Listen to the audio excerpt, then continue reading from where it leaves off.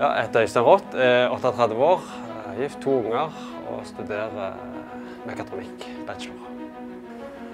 Jeg er med i teamet som har med primærstruktur og karosseri.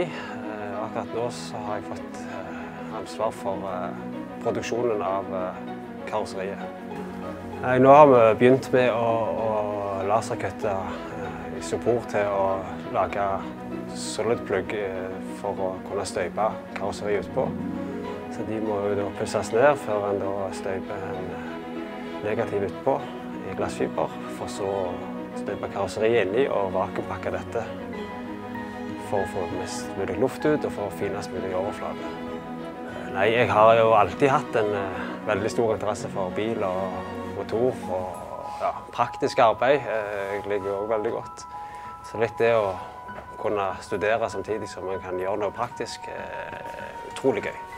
Det å få være med i et team og, og produsere noe sånn helt ifra bunnen av er utrolig spennende.